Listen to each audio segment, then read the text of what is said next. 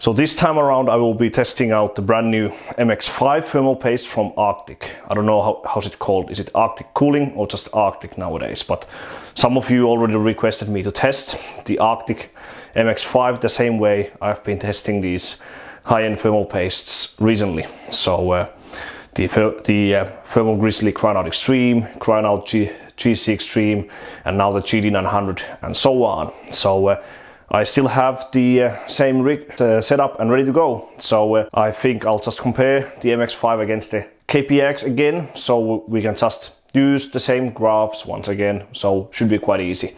But anyway, so the MX5 comes in a very simple packaging actually. So uh, no uh, plastic applicators included, at least not on this uh, 8 gram size tube.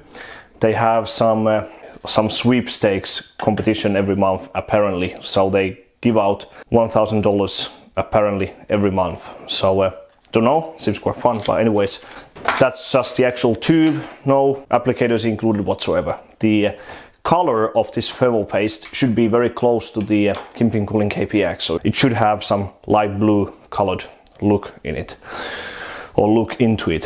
So uh, yeah, I will be using the same rig once again. So uh, Z490 Dark Kingpin, the same 10900K same memory, same operating system and so on. And okay, that's how the MX5 looks like. So it has a bit similar color as the Kingpin Cooling KPX. Obviously a little bit lighter blue, but that's not something that obviously matters that much in the end.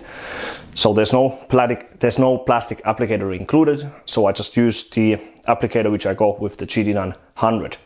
So uh, some of you were still asking that how do I apply thermal paste? When I go for the very good like mounts and good applications, I prefer to spread manually like this. When I'm just doing like simple CPU testing, like with old 775 and 1366 CPUs, I just apply like five dots. So one at the center, then one at each corner, or just the uh, X method, or just a ball in the middle, but it depends on the IHS size as well manually spreading is, al is always the most reliable way because then you at least know the whole IHS has been covered. But now let's see how the paste actually performs.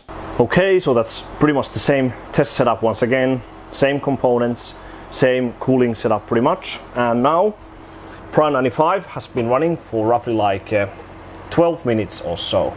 I'll open CPU Z just to show you guys, but anyways, so at the moment the average of the maximum core temperatures is somewhere, I think that's close to like 71 degrees.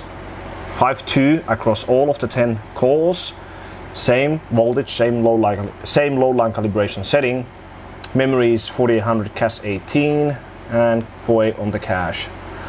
And the ambient ambient room temperature is 24.6, so that's like uh, 46.4 46.3. So uh, I think the MX5 should score somewhere between KPX and the GD900. GD900 was was its 46.4 from the free mounts in uh, Prime 95. So uh, I will be doing free mounts with this as well, and I also purchased.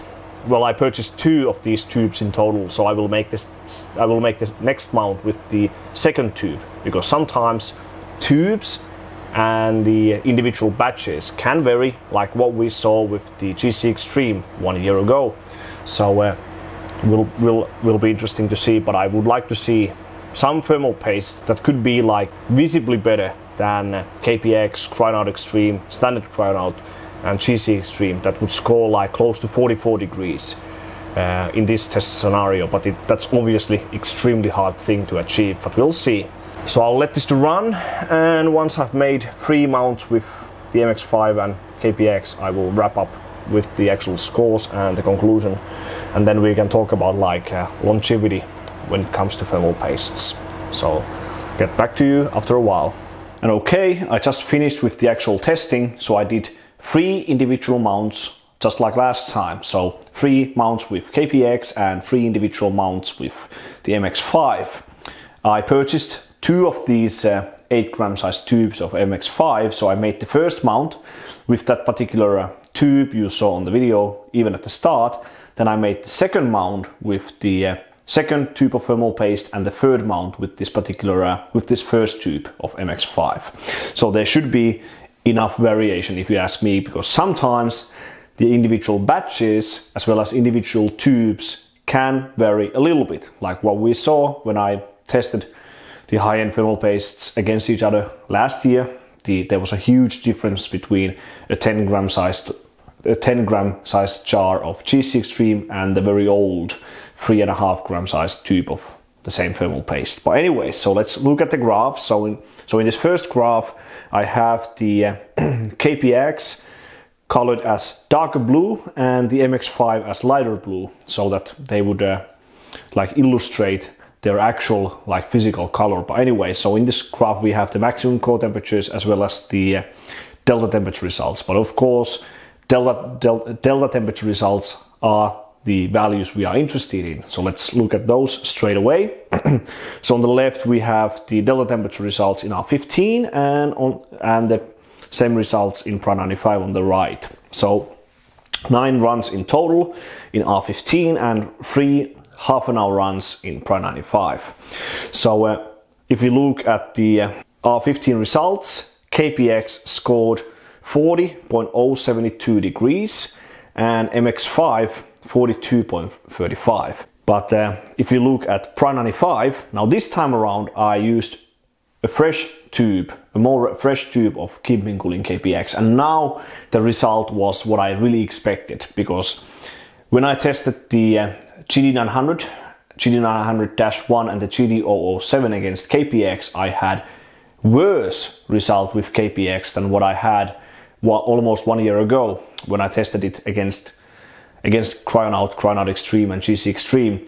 Since since that time, I have made quite a lot of improvements on my custom water cooling loop. Changed one entire radiator, added some better fans, fixed some bent joints on the actual uh, on the actual loop itself. So I was really expecting some kind of an improvement. So now we actually had an improvement. So the result with KPX now was 43.766. Last time, I mean, one year ago, I had a result of 44.8, I think. So that's like one degree improvement or so. And when I tested against GD900, the result was pretty much spot on 45. So it was actually 0.2 degrees worse than with worse custom water cooling loop almost one year ago. And the MX5 scored 46.23. So uh, that was kind of the spot where I expected the MX5 would end up being. So between like the GD900 and the highest end thermal paste options like the Cryonaut Extreme, KPX and so on. I have used like the MX2 and MX4 from Arctic and for me they have always been like very good middle ground performance. They offer like a pretty decent performance for very good price and they should have, like they advertise, they should have 8 year durability. So I, I think that's probably true. That's something I cannot test right now because I just cannot make mounts that will stay like so for so long time period. The longest thermal paste applications that I have over here are on my one laptop as well as on my uh, test motherboards like between the Northbridge and the heatsink assembly like Rampage Extremes and Rampage Free Black Edition. There I have had like KPX applied for four years or so and they still perform great. But of course I cannot have like a, a comparison with accurate results. So uh, that's pretty much like uh, the end with MX5. The pricing is quite good. Like I can buy 20 gram sized tube of MX5 for like 20 euros. So it's close to 1 euro per gram already here in Finland. These uh, 8 gram size tubes were like 9.5 euros each. So 19 euros for 16 grams and 20 euros for 20 grams. Jimm's PC store didn't have uh, the 20 gram size tube in stock, so I just bought two 8 gram size tubes of MX5. So then I I saw that as a positive thing because then I could have some more variation in the results when I had two different individual tubes of the same thermal paste. So uh, let me know what you think about the MX5. Have you tested it and have you compared it against other thermal pastes? I'm pretty confident about these results, so if you don't believe these results yourself, then you are free to purchase these thermal pastes yourself and try try them out yourself.